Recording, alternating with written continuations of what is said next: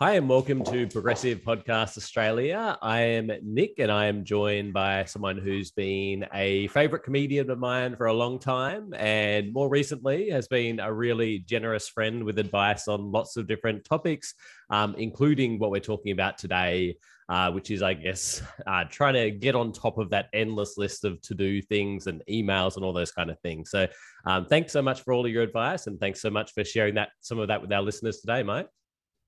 Uh, thank you for having me. It's always a pleasure to talk to you.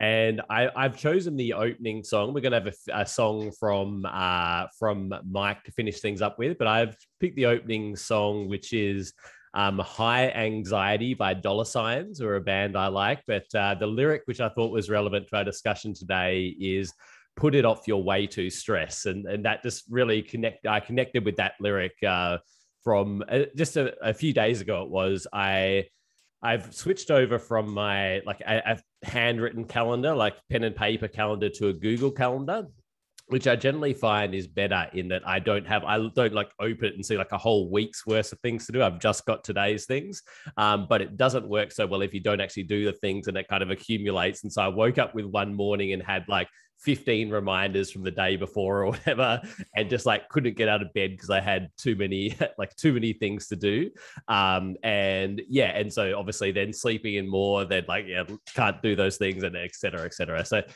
they're kind of some of the, I guess, some of the things we're going to talk about. And for the YouTube audience, you won't be hearing the songs, but we'll put them in the, the description below if you want to check them out on YouTube.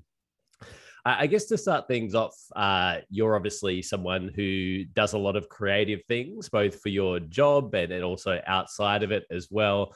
Uh, I was thinking there's probably a bit of a, a, confirmation bias in that for me, and that I'll get a like a notification or I'll see in my Stitcher you've done a new podcast, you've done a new creative thing. Um, I don't get the same notification when you've emptied your bins or done your taxes or something like that. So obviously there's a, a bit of a bias on my end for that. Um, but do you want to talk a little bit about the obviously you're stand-up comedian, but some of the various creative things that you make time for in your life?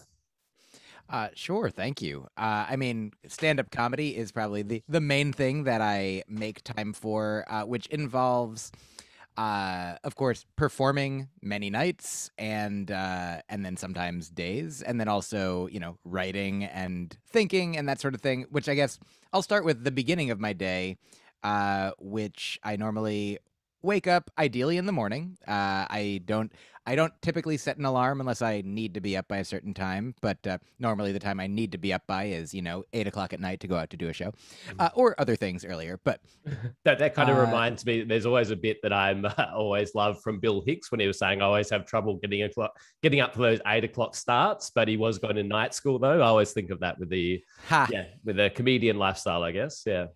Oh yeah. So but I, I do like to be awake for the daytime uh, when possible. And so the ways that I, the, the first things that I normally do, maybe we, I'm sure we've talked about this, whether on the podcast or not, in friendship, uh, certainly I uh, start with drinking a liter of water, uh, my first of ideally three or four liters for the day uh, which I've only been doing for the past year or so since a moment during the pandemic when I was particularly uh, sad in a way that didn't objectively make sense compared to how I'd felt, you know, hours earlier when not much had di- been different. Mm-hmm. Uh, and my girlfriend asked me, uh, is have you eaten enough which is uh, a classic you know one of the one of those i think it's halt are you you know hungry angry, something tired. Uh, mm-hmm. I forget what the L angry, is. Yep.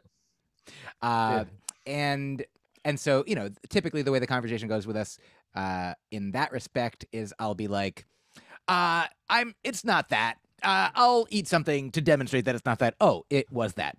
And but this time it wasn't that, and it was uh, that I hadn't drunk enough water that day because I didn't have that sort of like scheduled uh, mentally or in any way. Uh, but since then, I started re- like we. She's done so much research. Uh, she's read. Uh, it's so weird to say. Like it seems like now we know. Like oh, it's good to drink water. It's good mm. if you have access to clean drinking water, which uh, is a, a luxury and uh, compared to the way that some people, certainly most people lived historically, and even some people living today. So it's a a great boon, a great fortune. Anyway, so that's one of the the first thing I do is I read something while drinking a liter of water. And uh, right now, I'm reading uh, this book by Brené Brown, uh, "Daring Greatly," which uh, is it's great. Brené's great. Her TED talks, her Netflix special, all great. I always strive to read something sort of. Uh, I often I'm reading like something peaceful, something uh, either by Pema Chodron or other Buddhists, Thich Nhat Hanh, Ram Dass. But this seems like it's also kind of in uplifting uh, even though uh, coming from a more scientific than spiritual place, but it sort of all intertwines it. Then uh, we're almost to the beginning of my answering your question. um, I, I, one thing I do is I answer questions in creative ways, and uh, so I, I will then usually meditate uh, for 10, 20 minutes, uh, often listening to a guided meditation uh, of one kind or another. And then the first, I'd say, actively creative thing I do each day, typically, is uh, morning pages, which uh, a jokey way I say it is like, oh, do you know the book The Artist's Way? Uh, well, have you read it? I haven't, but this is part of it. um, that one of the things that is recommended in this uh, paradigm is to write. I think uh, Julia Cameron, who wrote that book, recommends longhand, uh, just writing physically, which I do sometimes. Uh, just like three pages, or I use typically 750words.com and the way that it comes out, sometimes it is just a stream of consciousness, sometimes it is song lyrics, sometimes it is a chapter of a book if I'm working on something like that, sometimes it is jokes or other uh, just fun nuggets, sometimes it is gratitude journaling. And uh, the goal is just to, you know, to write the 750 words, sometimes more. Sometimes it'll come out as an email to my girlfriend or my mom or a friend who's going through something or has a birthday or anything. And sometimes it ends up being some combination of all of those things where if i start just writing for myself starting thinking you know about things i'm grateful for and then i'll i might think of a joke idea and then i might want to share that with a friend and then it becomes an email.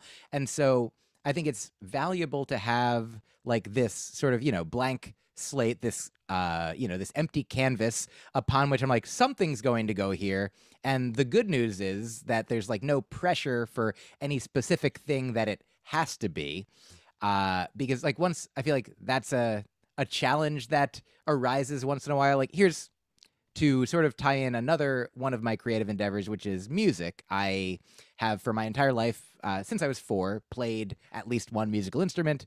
I started teaching myself guitar and writing songs when I was uh, a teenager. And uh, I, before I became a comedian, I was striving to be a singer songwriter professionally. And then I sort of organically, accidentally uh, fell into comedy, realized that comedy, like stumbled in, was like, oh, I don't have to carry this guitar anymore. but I still, for fun, uh, and you know, great, you know, meaning and reward in my life, like have a guitar, have a violin, and I like I will record music, I'll play music, I'll sing with my girlfriend. She also uh, it plays and sings, and the the thing that the reason I thought of this right now is like I have like released music that I have recorded. Uh, like in 2016, I put out an album called Many Many Musics, which I think has like maybe close to 40 tracks that are maybe about a minute each. Some of them less, some of them maybe up to two or three minutes, but it was like a fun thing to work on with a good friend of mine uh, who I've known since we were teenagers, named Sam. He like engineered it, produced it, uh, and uh, added and did some of the music as well. And I remember like it was a process by which I was like, okay, we're going to create a product like to go out there for everyone. And so that made me think about it and uh, dial it in in like a very specific way compared to when I'm just like picking up the guitar around my house. Sometimes I will just like turn on GarageBand and start recording and get something that uh, like I'm like it's fun to play. Sometimes it's just like doodles of ideas. Uh, sometimes it might be a complete song that I'll like layer in harmonies and uh, maybe different instrumentation and come up with uh, some percussion. And and even then, like I'm like, oh wow, this what what a thing, and I'll sometimes share it with friends. like I've done it, I created something, and then when I think about like I I'm optimistically, I'd like to put out another album of music that I've like I have more than enough music that hasn't been released to create an album. However, the to get from the point at least mentally and or physically from where it is now, which is like, oh, I have these songs and if I had unlimited time or enough time to spend like perfecting them and like correcting and being like, "Oh, I want to take that vocal track over again or redo that one. Like when I start thinking about other people hearing it, other people receiving it, I'm like, oh, then pressure starts to build. And I'm like, oh no, like that's gonna, it's gonna take a lot of work, a lot of doing. Like, and then it's nice to pendulum swing back to be like, and there's no deadline and there's no boss and nobody's demanding this and if i if i never release it that's okay. If I only want to share a song or two with a friend here and there, or I could maybe in 10 years I'll be like, "Oh, look at this. The the 10 years ago project that like it wasn't wasn't that fun when I thought I would work on it more, but here it is, you know." And so I feel like the the the permission. I'm glad that I'm glad that music is not my uh my career, my livelihood because that enables me to engage with it in a way that is as purely joyful and, you know, just creative as possible, which I'm grateful to get to do that with comedy as well. And I don't feel like there is pressure for me to be continually uh, producing, though I guess maybe that's not even true. I realize I like right now, I released an album last year that I recorded the year before that, and I have another hour of comedy that's essentially ready to go that I'm gon- gonna continue to tour and maybe bring to festivals, hopefully, and then eventually uh, record. And then the question, like, oh no, and then what about the next one? And I'm like, well, I can. I have ideas of what that's going to be, and I can quote worry about that later. And maybe this is something that will be sort of useful on topic in a way that I don't know if we've talked about this. That one time I was at a wedding of a friend of mine, and it was like an all weekend affair. So we were staying overnight at this like uh, sort of summer camp in the woods that they rented out. And uh, the night before the service, like we were just, it was just sort of an after party, and there was some somebody had a marijuana a vape pen, uh, and I I'm not a big uh, weed smoker in general.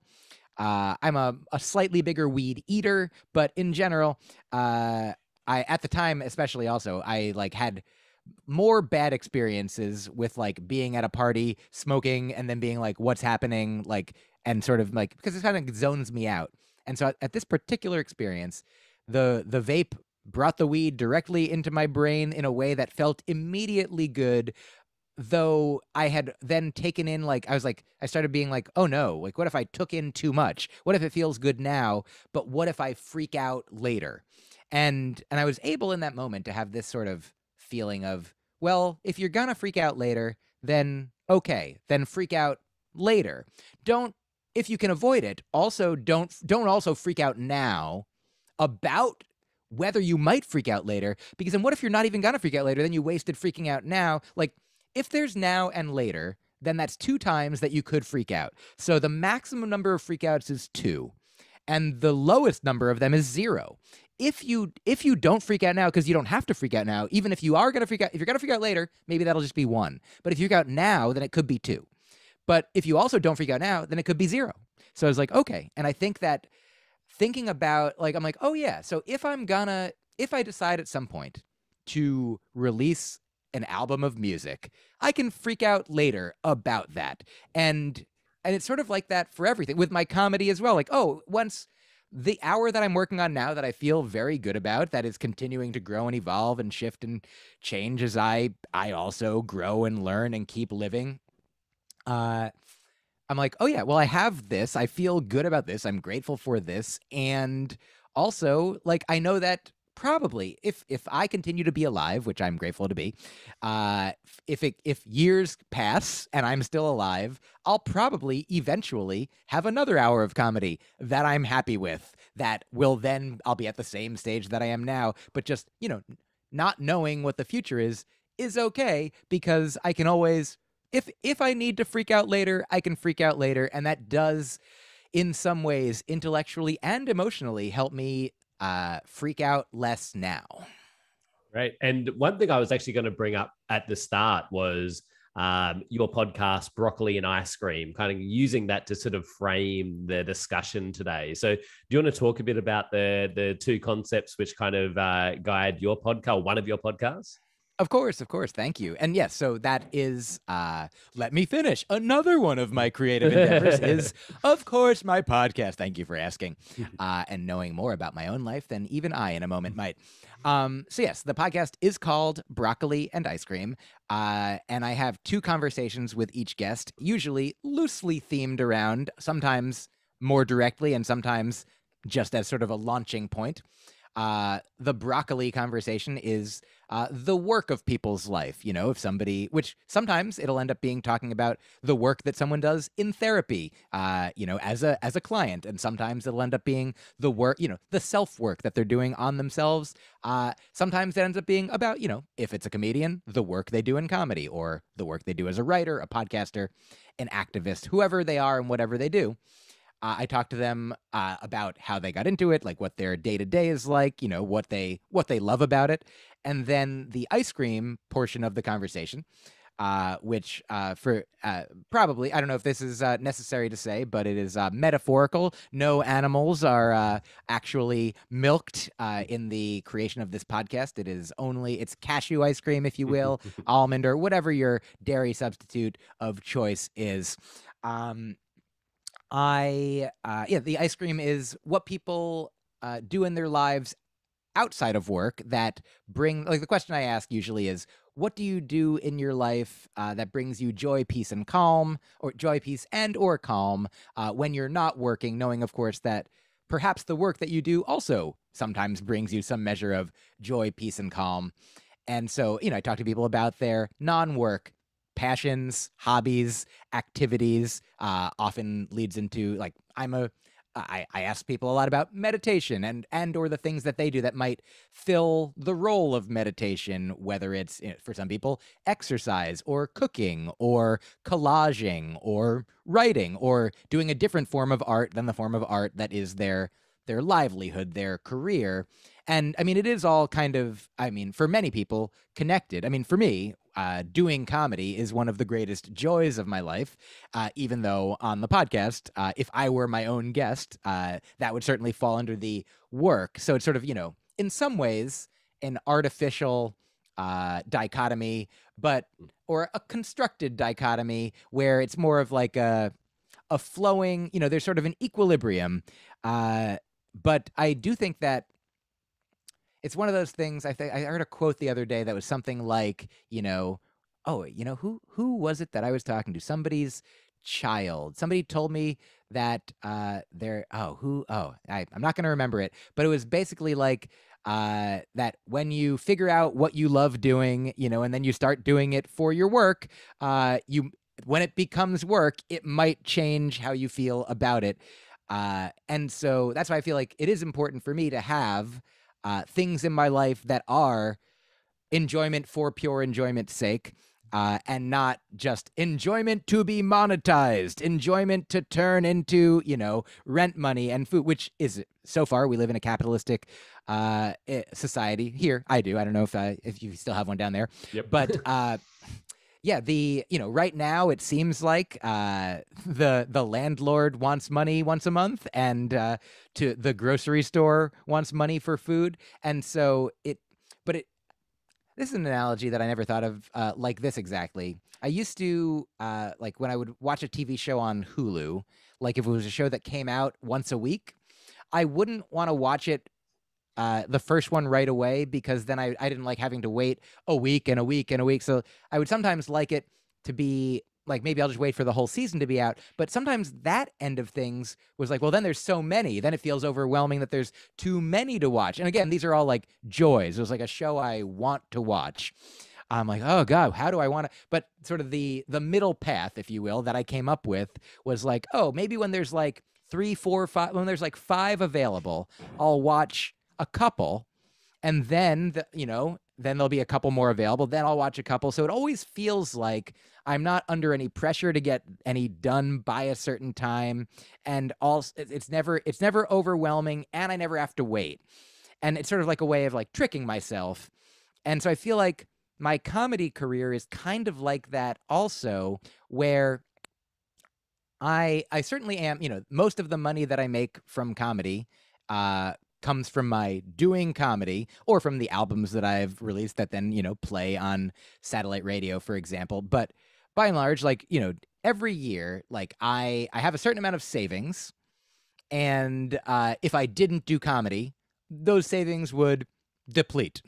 So I it's important for me to continue to do enough comedy. I mean, and I want to do a certain amount. I love doing it, but if I were thinking about it just sort of mathematically, like numerically, uh, financially, uh, I'm kind of thinking in along the same lines of like if I did none, then I'd run out. But if I was doing it all the time, then I might burn out. So I got to have somewhere in between where I'm like I'm doing it the amount that I want, uh, the kind that I want, the times and places, hopefully that I want, and maybe sometimes it skews one direction or the other. It might be like, oh, this month I don't have as many like shows that like, oh, maybe I won't make as much money as I need to pay my rent this month, but I have savings because last month I made a little more than I needed to pay my full rent this month, whatever it might be.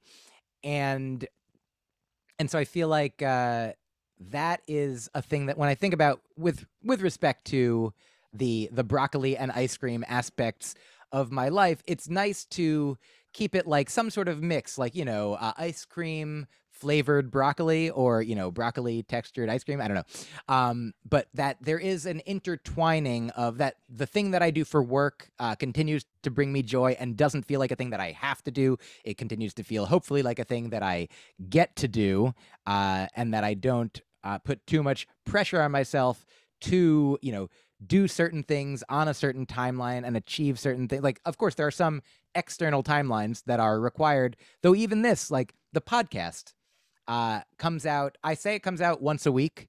And I do have a Patreon where uh, I've told people if you pay this much money, then you will get this many podcasts extra per month. And, uh, and I realized that, like, I think maybe a month or two ago, there I had like I had a very busy month with other activities and I, I was like, well, I got to make sure to get those podcasts done because if I don't, if I don't keep to that schedule that I created, then I'm in trouble. And in a way, I mean, there might be fans who are like, hey, where are all the podcasts? Like, and even now, I think I put out like four podcasts last month instead of sometimes I put out maybe five or six. Like sometimes I have, I get to do so many that I'm like, oh wow, I I have extra, and I I don't want to just sit on them and wait. So I'll do you know as many as Libsyn allows me to submit in this paradigm, uh, and as many that I can do comfortably and enjoyably. And uh, and but I also realized like if I ever needed to, if I ever had so many things happening that I was like, I don't think I can put out four podcasts this month. I could say, well, Patreon, uh, this month you don't have to pay anything and you won't get all of the things. Like we'll just take a month off. Like I could take a month. Like I'm not. Here's a. It's kind of a joke, but it's mostly just a story that I tell on podcasts sometimes under these circumstances. Like it's a imagine it's based on a conver- conversations that I've had with like younger comedians, aspiring comedians. Uh, so the first uh, the first voice you'll hear will be the aspiring comedian. They say like, and then it'll be me.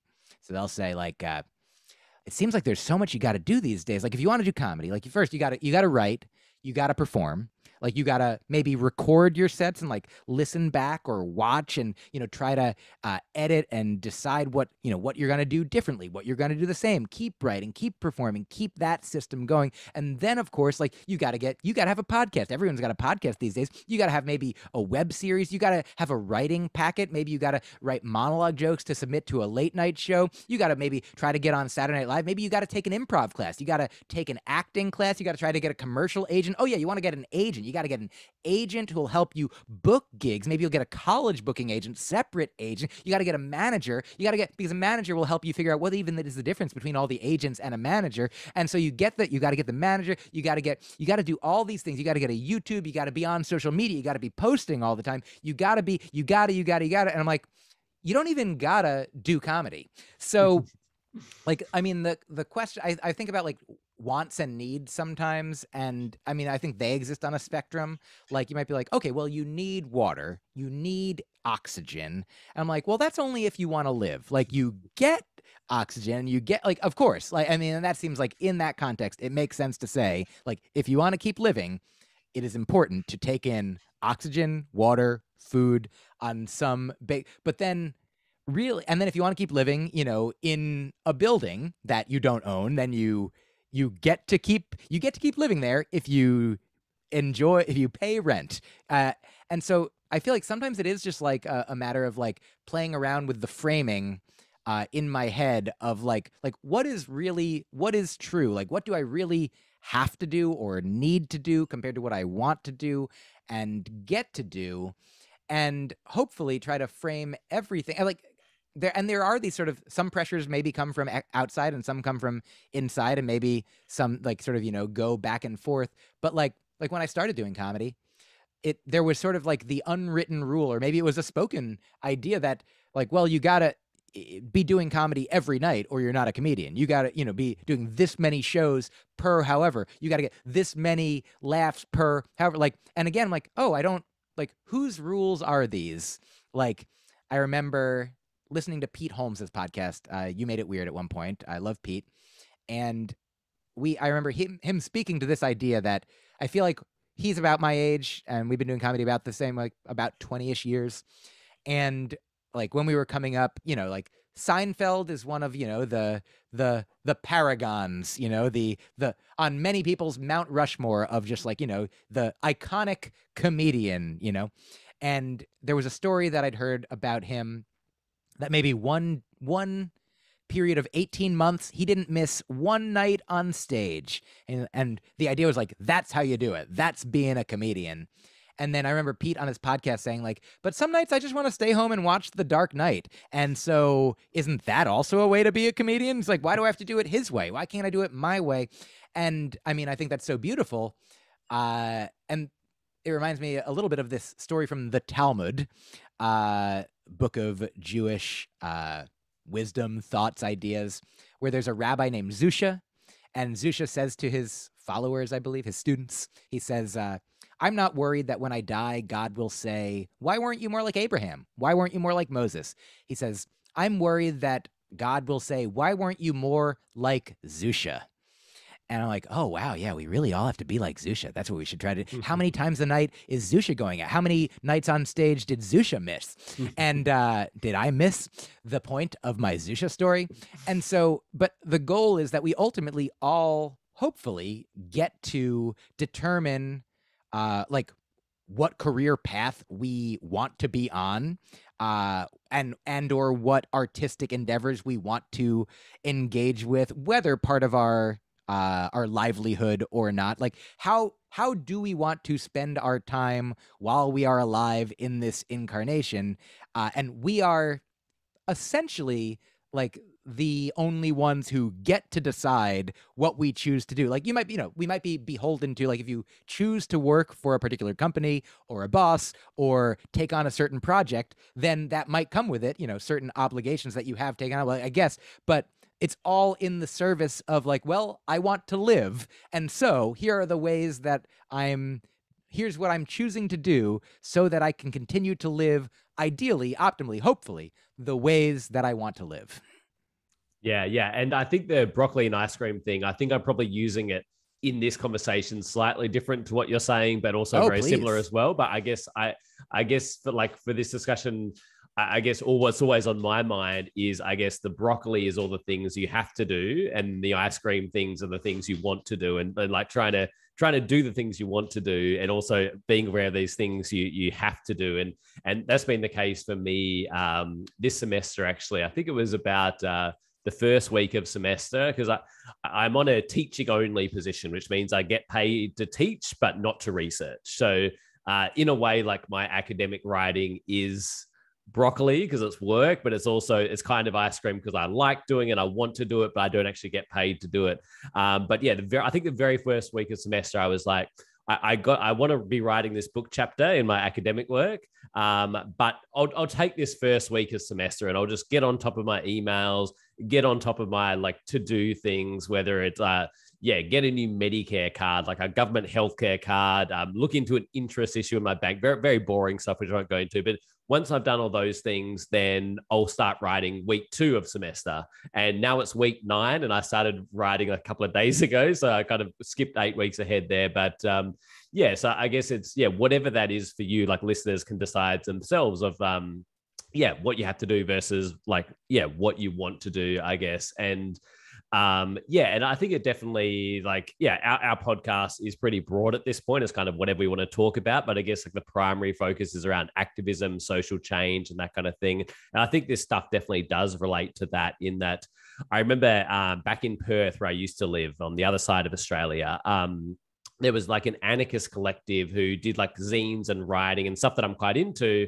And I got asked to join it. And I was like, oh, I'm too busy at the moment. Like I was writing a thesis at the time and that kind of thing. But I've carried on that mindset, even though I finished the thesis. I've like, I've, I've got too much that I can't take on new things.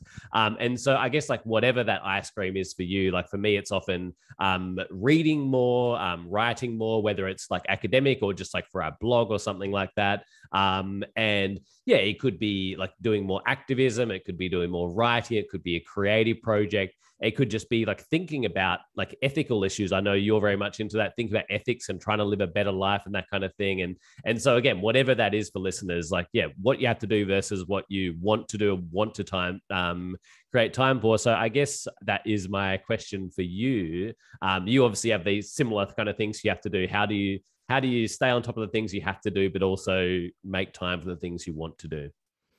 That's a great question, and uh, I don't know that I do it optimally, but I'll. Hmm. Here's a, a, an additional framing that I think is has been valuable for me. I forget where this came from, but I think my friend Zach uh, shared it with me, like from a book he had read. That there's like imagine like a quadrant system, uh, like a quadrant of uh, on one one axis it's urgency and the other axis it's importance. So, and there's everything that we do in our life is, you know, some combination of those two things, either, you know, urgent and important, urgent and unimportant, non-urgent and important, and non-urgent and non-important. And so I think so thinking about it with those frames in mind, like think maybe we could think about like what are the things that we do? Are there things that we do that are not urgent and not important? You know might be like scrolling through the internet uh, mindlessly at a time or you know just flipping through channels. And every once in a while it seems like maybe that would be a good way to you know relax to zone out to be like oh yeah i just i want to just uh not be doing something uh urgent or important for a moment. Uh but it feels like that should be uh, ideally like the the lowest percentile on the uh, the graph of our experience uh, of how much we are doing each of those things. So the ones that, of course, we would hopefully be doing the most are the things that are urgent and important. And then, but so like the the interesting thing comes in with, if I understand correctly, in my assessment of this, that there are things that are urgent but not important, and there are things that are important but not urgent. And I think that like activism might be something that for a person who like if you are living in a home, if you, you know, have privileges that other people don't, which is, you know, most people have some privileges that some other people don't. Uh, like, you know, I'll, I'll speak for myself. You know, I'm grateful to have enough money in the bank to pay the rent uh, and to buy the food and extra to also contribute to causes that I care about, and some extra time to uh, go to events, to go to rallies or actions that I care about, uh, and or to spend time like through the lockdown, uh, like one particular. Uh, group that I uh, have been associated with is called Court Watch. And before the pandemic, we would go into courtrooms and observe and take notes. Uh, and in the idea of hopefully, you know, making the system fairer, uh, getting people in who care more about, you know, uh, not having inordinately high bail uh, for people who have not been proven guilty of anything. Um, for example. And so during the pandemic, no going into physical places, but we had there was an online version of it where we could do this sort of data entry that they were like, hey, if you want to do two hours a week, that would be great. And uh, like I have a good friend, uh, Nato Green, who is a comedian in uh, the San Francisco Bay Area, and he is also uh, like a union, uh, I think, organizer. I don't know technically his title, but he has been very involved uh, in in these th- like more in activism longer than and larger than I have, like as his as his career as well as his passion. And I remember asking him once, I was like, I know the answer is like comes from within for a lot of these things, like how much time do I dedicate, how much you know of what thing do I want to do. I was like, but what do you think is like a good amount of activism to do. And he was like, five hours a week. Uh, and I mean, I don't know if that was just a personal number for me or if that's for every, if everybody did it across the board, maybe we'd be, we'd be done. But I was like, oh, I mean, five hours sounds like, uh, at first, like maybe a lot. Uh, compared to zero, be like, oh man, where am I gonna find five hours? Like, I mean, I'm I'm busy watching so much TV into the night, uh, so can't obviously eliminate that. Um, but I was like, oh, that's just like one hour every weekday. So for much of the the beginning of the pandemic and uh, I, I still for much of the lockdown i was just doing i would do five hours a day instead of the two hours that they were asking for and then when my uh, my schedule started filling up again with travel and with uh, other work and or other activities uh, I I don't always get five hours in. I don't always get two hours in, but like those are things that uh, fit the category of like important, but unfortunately not urgent. And there are even things that are important but not urgent that, like, you know, in our personal lives, we might have like the goal to write a book, the goal to achieve, you know, to release a new music album, the goal to, you know, you know, express oneself artistically uh, in a way that you know is of course important, but because there is no timeline, because there is no no deadlines being uh, levied from the outside, they are that is the lack of urgency that is associated with it. So we very frequently, many of us spend a lot more of our time uh, disproportionately responding to the urgent, unimportant things compared to the important, urgent things. Uh, like in an urgent, unimportant thing, like, you know, responding to an email. We're like, oh, the email came in, so I'm going to respond to it immediately. It feels good to get the email box down to zero. And also, I remember I'm in the Brené Brown book that I'm reading. Uh, I don't know if I can find the spot exactly or remember enough, but she talks about like wholehearted people, people who live in this wholehearted way, which is sort of like the the goal uh, like uh, pick up daring greatly to learn what the definition of a wholehearted person is, or just Google R- Brené Brown. I'm sure it can be found. But uh, she talks about like the two types of people, like one who might be like uh, always ready to like for their boss to call or if they are the boss to be like a lawyer who's like we gotta at all hours of the day like the clock never stops. We're always you always have to be available. And that's like you know perhaps an anxiety inducing anxious way to live.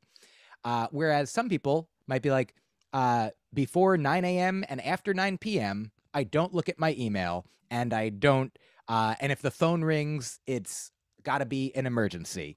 So, and not a work emergency, just like like a legitimate, you know, like a medical, like a, an existential, whatever it is. But like, and that the people who set those boundaries, like she's talked uh, other times, I've learned about that boundaries are often something that are uh, that associate that are associated with compassionate people, people who are compassionate for themselves and others. That like because you know if you don't get enough sleep, if you don't get enough food or water, like you're not going if you don't care for yourself enough then you're not going to be able to uh, do anything like useful of service to whoever you would like to serve whether at a job or in activism uh, in your community in your family in your home. Uh, so that's why it again it's sort of like another like not pendulum that you should swing from one side to the other, but uh, a middle path to be struck of like, you know, putting your own oxygen mask on first, uh, making sure that you have enough uh, literal and metaphorical oxygen in whatever aspect. Um, so, and yeah, so in the Brené Brown book, she recommends, she's like, living the way that has boundaries is valuable and meaningful and is like helpful and healthy to the person setting those boundaries for themselves and also for everyone else that they'll be now more rested and available to help when they do. So I guess the in in answer to your question in a way like how do I do what I I guess I have I do have certain specific I I could have more times set aside specifically for like this is the time that I do this thing. You know, this is the creative writing time or this is the activism time or this is like I do have some I have a friend Gus who is Buddhist and I uh two times a week we have uh, a a meeting scheduled where we are learning about Tibetan debate uh, and learning how to do it and to practice it and learning about Buddhist ontology. And it's uh, very meaningful and valuable. And like some weeks, uh, if I'm traveling or something else comes up, like, you know, it's not, it's not set in stone, but like, I'm like, it's nice to have those things. Like, I'm like, I value those things. So I guess one way that I like make sure that I make time for things is to like name a time for it. Be like, ah, 3 p.m. Wednesdays. That's when this happens. And like for my shows, you know, my shows happen at night. I'm like, oh, nighttime is usually the time that I'm working, performing. Like that's that time. Um, one one day a week, usually I strive to have be like an email Sabbath where I don't look at email or do anything at all, uh, like on social media or online. And it's just, it's so astonishing how like the world, you know, like the world is here and it it really feels like it's so real and present and urgent to but if i'm not looking at my email then i don't know uh, who i'm quote unquote supposed to respond to by what time. Like and what i usually do is before the day that i take the email sabbath like at either the night before like at the end of the previous day i'll look at my inbox and if it's not down to zero I will use the program Google Boomerang to uh, send the emails from my inbox into the future. Be like, well, these ones I'm going to address on Sunday. These ones I'm going to address next week. These ones I'm going to address in a month. And so I feel like really allotting time for things and like curating the chronological, like cr- curating the schedule in a way that allows me to uh, like then be like, okay, well now if there if there's ones that have to be addressed immediately, be like, oh wow, this person needs to hear from me, or else I might not get this gig. So I'll write back to this person now. But for the ones, especially, you know, like right now, I have maybe 30 something emails in my inbox that I thought maybe I would respond to earlier today, but I didn't get to. And that's okay. I'll do it tomorrow or I'll do it Tuesday because right now it's for the most part just emails to friends that I want to engage with that for the most part like every once in a while like i send a lot of friends like uh, a message on like the first of the month and and it might be that they didn't if i sent them one last month and they didn't respond that's fine by me but sometimes like people will write back and they'll be like i'm so sorry it's taken me so long to get back to you and i understand that and also, like, I'm not sitting here with a stopwatch being like, I can't believe it's been that long since they got back to me. I truly understand, based on my own life experience, that sometimes our days, our times, our moments, our hours fill up with all kinds of things, and that nobody is obligated to email me and and I'm not obligated to email anyone on on a particular time schedule. And so sort of understanding like both sides of that and being like compassionate to ourselves and others is a way of like hopefully like you know lifting some of the perceived burden that we have where if it's not something that is you know time sensitive work related you know uh, if this doesn't happen, you know, somebody somebody's appeal isn't going to get filed by the right time, and uh, the governor won't pardon them. Uh, that I feel like you know some of there's certainly maybe some of your listeners are working uh, in job like if you know if you have a job I feel like I know people who work uh, in in the medical field and and or have partners who work in the medical field that like while especially now while they're working it's like go go go go go on on on. But then hopefully when they come home they can be like well now I'm not at the hospital anymore. I need to sleep because otherwise I'll need a hospital you know? Mm-hmm. uh so hopefully figuring out the way to figure out what are truly the things that require our attention at what time and you know starting from if you feel like you're too busy like which i often do feel like i'm very busy and i'm like grateful i thought of interlude about this. I was talking with a friend earlier today and uh, he was like maybe this project i'm working on is going to turn into something. Maybe it's going to actually end up being nothing but we're finding out soon. And he's like either way is going to be fine. Um, and I was like, oh yeah, no, it's either going to be something or nothing. And those are two of my favorite things. Like if you were like, hey, so uh, what do you got going on tomorrow? I'm like, oh, I'm I'm doing something. I'm like, oh wow, that's great. Uh, well, hey, what do you got going on the next day? Oh, I'm doing nothing. Oh, that's great. Like nothing and something are seemingly opposites, and they both can be great depending on the circumstances. So I think just uh, if so yeah if we are too busy or if it feels like there's a lot that we have to do that we you know like i feel like let's we can ideally look at those things and be like how true are the things that we're telling ourselves? Like there's uh byron katie is a wonderful uh teacher. Uh she has a thing called the work and it uh, she has these judge your neighbor worksheets where you, people are invited to be initially as like as petty as possible about like the the the the problems that they see in their like relationships with other people. Be like this person's doing this thing and it's making me feel like this. And then one of the questions she'll ask is like is it true is it definitely true? Can you know that it's true that this person, like, it, whatever the thing is? And usually the answer is like, no, I, I can't know with absolute certainty that, like, they intended to do this thing that hurt my feelings or whatever it is. Like, and so who would we be without that story is a question that gets raised. And so maybe now who would we be without the story of like I have to send this email back now or I I have to like my friend Gus, the Buddhist, shared this idea with me that he's like, sometimes it's sort of like a conversation like this happens. Like, well, we're 45 minutes away from somewhere, but we have to be there in 15 minutes. So, what are we going to do? And I'm like, well, we're not going to get there in 15 minutes if we're 45 minutes away. And it's like, but it's very important. Like, yeah and you know the the laws of physics and uh, you know uh, cause and effect and space and time so far in this incarnation seem to apply. And so uh, i think hopefully acknowledging what exists uh, you know being present with what is real not with what we wish were real which is often the like a source of anxiety for us is comparing where we are with where we wish we were, or where we think we should be, or where someone else seems to be, even though we don't know their inner experience, only what appears on the outside, perhaps via social media, photos, or such. And so, yeah, I would say uh, if if it seems like there's a lot on the plate, be like, oh, could some of it be moved to tomorrow's plate? Is it actually? Could some of it be like, well, this is it's nine o'clock now, so no more.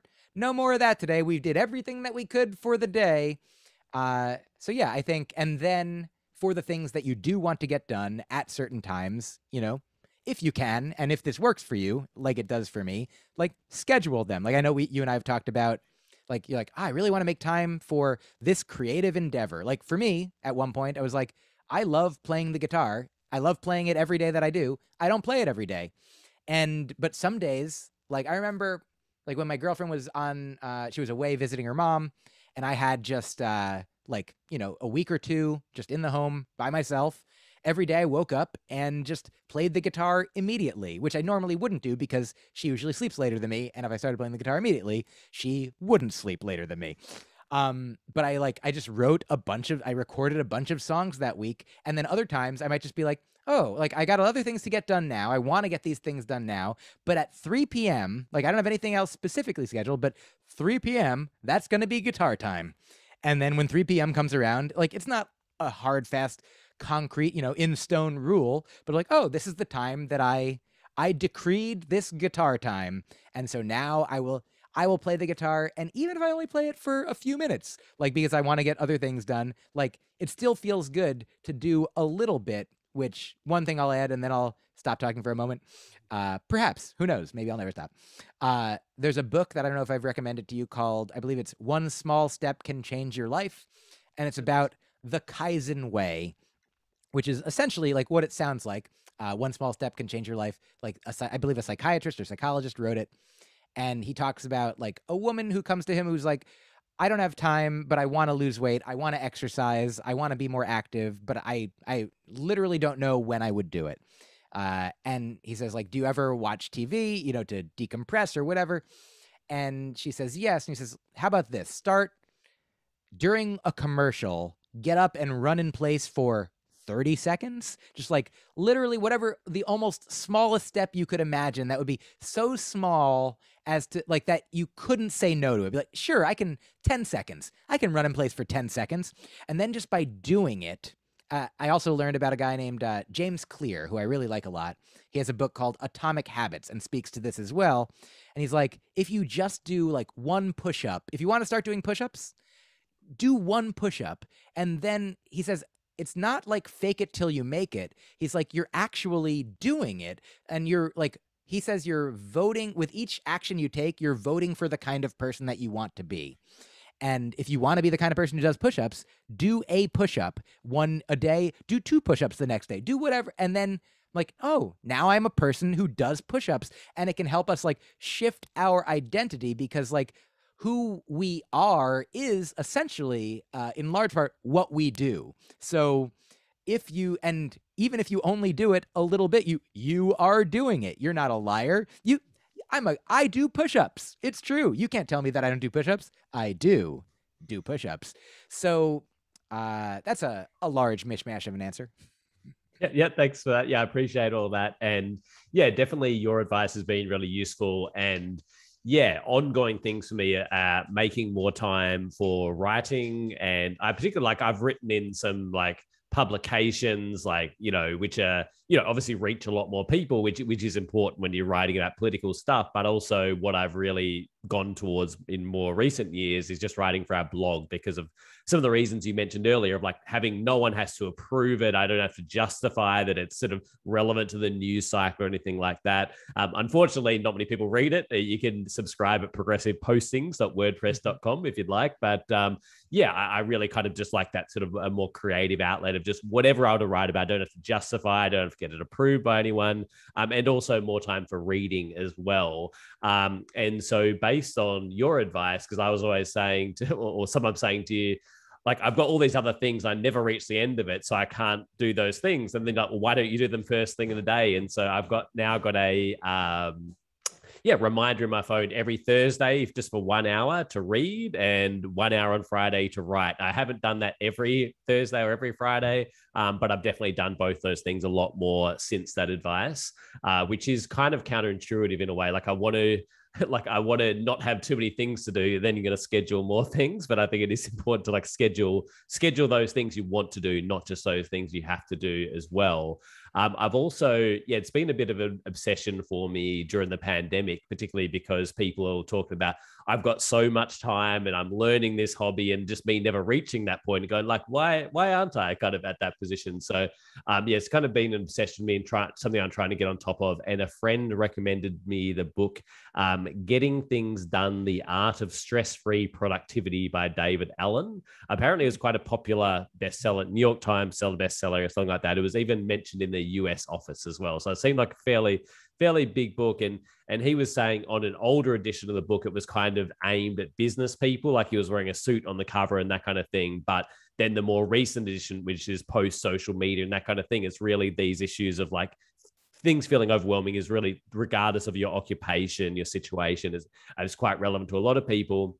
And just one thing that stuck with me from that um yeah from that uh, book is like whatever like whatever sort of system you have to sort of have your to do things, which a lot of for me is in my email because I'm often emailing myself podcast ideas or ideas for my radio show or ideas for writing. And so that almost becomes a bit of a to do list and even needing to empty it regularly. And I kind of reading that, I realized why, even though I've been doing so much better, like um, last night I checked this, you mentioned how many emails. At, last night, I haven't checked this morning, um, but I had 15 unread emails, which is so much ahead of like a thousand or whatever I had in the past. But um, this semester, I've, yeah, again, improved so much on that. But I've always had sort of 10, 20, 30. Like I've never hit the bottom of my inbox until very recently. Um, so always needing to empty that out. So now I set aside uh, like Monday night and Thursday night, like times when I probably won't be like writing or reading or whatever to empty my inbox. So that means if I'm writing on Tuesday or Wednesday or Friday or whatever, like I do have emails, but that's okay because I've emptied it recently. And so, and now I'm doing the same my Google Calendar every Tuesday afternoon, empty my Google Calendar. So it's at least kind of emptied once a week. So that is one useful thing I got out of that book of, um, yeah, not just kind of getting things down a bit, but also making sure you empty whatever uh, kind of system you have. So, yeah, we're probably reaching towards. I, I, I, could probably discuss things for another hour, but we probably should wrap up fairly soon. But any final words of advice you'd like to give? Um, also, want to give you the opportunity to mention any of the uh, yeah any plugs for yeah your latest album, your yeah podcast, and anything you want to promote for yourself. But I'll hand it over sure. to you. Yeah, thank you. I I will add this that uh, the reason that I didn't uh, get as many emails written today as I might have otherwise is at one point uh, when my girlfriend woke up, she uh, shared something with me, uh, an experience that she had had, a message she'd received that she wanted to talk about, and so like I ended up talking with her. Like, very, it's interesting. Like in in our relationship, like we live together, uh, and we're happy to do so, and we love each other, and also very frequently, uh, many days of the week, like we will spend the initial hours of the day like sometimes even till dinner time like i'll do you know my my things my work my individual pursuits and she will do her own. And uh, and then we'll like you know convene reconvene uh, in the evening. And uh, but every once in a while like you know there's for reasons uh, causes why we might uh, engage uh, earlier in the day do things differently. And so it's something for me that uh, I've been working on being like more flexible with my mindset as well to be like, well, but this was going to be email time. But uh, when it when my partner, my beloved girlfriend, was like, uh, "Hey, can I talk to you about this thing?" I was like, "Oh yes." Like, I mean, I love being with her. I love like I would absolutely spend all day talking to her and not emailing anyone uh, because I love her and want to do that. And also, uh, that's fortunately, I guess for both of us, like that's it's never uh, both of our desires to just be talking all the time. Uh, like I probably would, uh, though she often. Uh, it, regardless, the point is that I was like, one the reason that I didn't do one thing that I wanted to do, write emails to friends, was because I was doing another thing that I wanted to do, which was spend time, you know, engaging in uh, my romantic relationship that I love. And so I sort of like the final piece of advice, I guess, is uh, like my friend Zach, uh, whose song I offered to you to uh, conclude the show, I believe, mm-hmm. um, shared with me uh, some time ago, like his main, he had like these four pillars of life that he's like, most, I'm almost always spending time uh, on one of these things. And like one of them is like his work, uh, you know, uh, his creative work as a uh, a comedian, a musician, uh, a purveyor of an event called the Crossword Show, which is if you're in the United States uh, and in the the relevant geographical location of it when it's happening, and maybe it'll be international at some point as well. It's really wonderful. Uh, but so he's working on that uh, for much of his days. And then his romantic relationship is another pillar. Uh, his physical health, like uh, working out, is another pillar. And then uh, I believe the fourth one is activism, you know, so he's almost always, and then of course there are other, like, you know, there are other relationships, uh, other like friendships and things. But like, uh, if I remember correctly, that those are like the, the four things that he thinks about like am i what am i doing in my life what am i spending my time doing uh which you know is it one of these things? Uh if not why not? And uh and so I don't have as definitively formed those pillars in uh, in my life explicitly stated, but I like to think about you know if I were to write a list of like, here are my my favorite things to do, my favorite ways to spend time, like you know, they would include things like doing comedy, writing comedy, uh, you know, writing songs, recording songs, spending time with my girlfriend, spending time with friends, writing emails, communicating with people, writing poetry, just free writing, uh, you know, reading, uh, taking in art that I enjoy, uh, going for walks, drinking tea, like cooking, making good food, eating good, you know, and and so forth and all of those things are so plentiful that it's very rare that on any one day I will do all of those things, or even in any one week I might not do all of those things. Uh, but my goal is to maximize the amount of time that I'm doing that at least those things, you know, from things from that array of things, and uh, the, the things that are the most combination of important, uh, whether urgent or not. And uh, so yeah, that's I that is my advice to myself to think about like you know, I guess I think of things sometimes you know the way that you know the Netflix queue for uh, you know what you want to watch in what order potentially.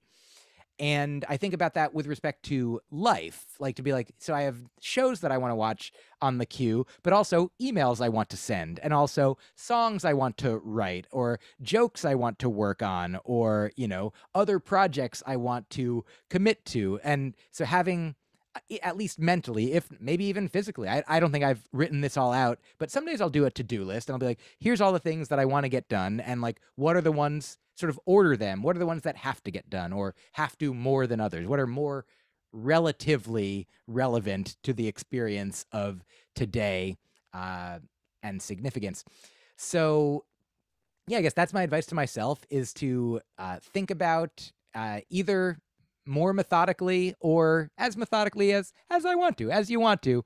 Um like to make sure like how is your time being filled? Uh and are there ways that it could be more effectively allotted? Uh be you know to be like if you're doing something, that means you are doing it at the exclusion of many other things, almost every other thing.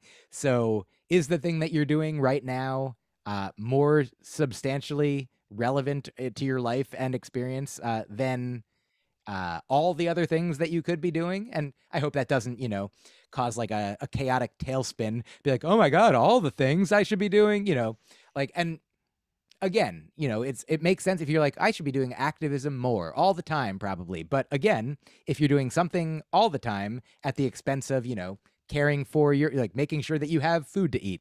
Uh, so I guess my main advice is drink enough water.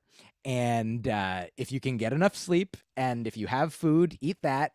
Uh, and if you have food, sleep, water, dollars, resources, then after a certain point, uh, help other people if you can uh, get all those things, people and animals, all all the sentient beings that you can assist uh, possible, starting with yourself. Like you're also a sentient being, so just uh, try to care for as many care for care for the sentient beings that you can yourself the ones in front of you the ones that you can impact um i guess that so that's my that's my last advice for now and uh and if you'd like, uh, I I will accept your invitation to let people know about. Uh, you mentioned my podcast, of course, broccoli and ice cream, which you can get uh, for free at least once a week.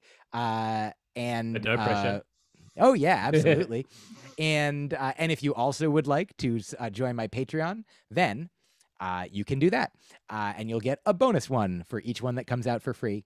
And uh, I do stand up comedy, my main work, uh, and I've put out a bunch of albums. The most recent one is called AKA, and I recommend it greatly.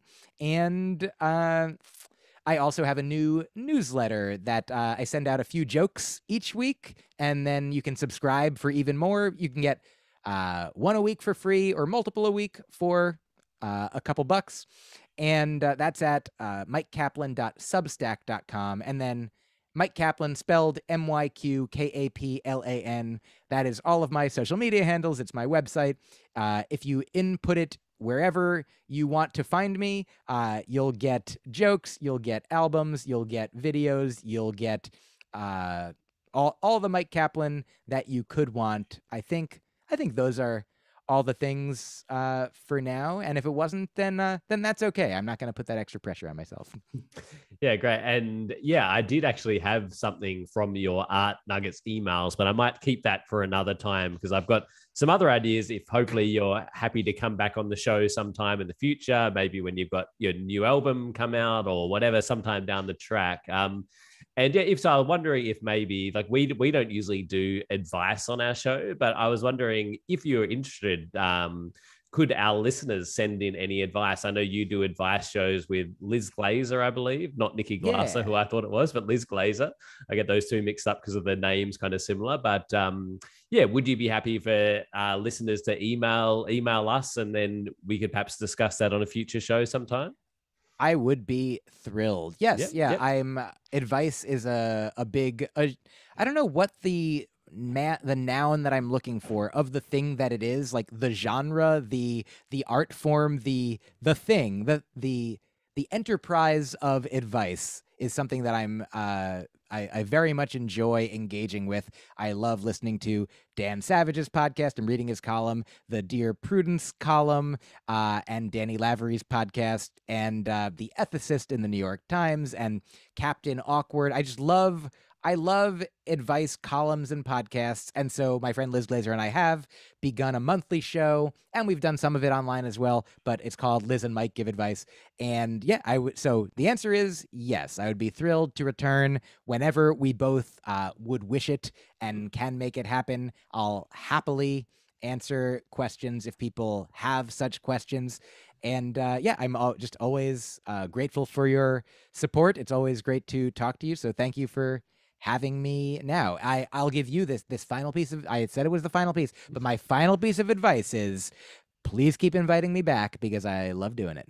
Great. Thanks so much. And listeners can contact us progressive podcast at gmail.com uh, or message us on social media. Um, and yeah, it could be something that perhaps comes out of the discussion today on this kind of topic or yeah, something different. And yeah, it'd be always great to speak to. It'd be great to have on the show again. Um, yeah, anytime. And I do have some, uh, yeah, some sort of different topics sort of trains of thought didn't quite fit with this discussion, but would be perhaps good for another time. So um, yeah, we're going to finish up with a song that Myq has chosen. Uh, again, the podcast audience will hear this. The YouTube audience, you can check in the description below. Um, it is uh, "Circumcising Wolverine" by Zach Sherwin. Uh, anything you want to say about the song, Myq?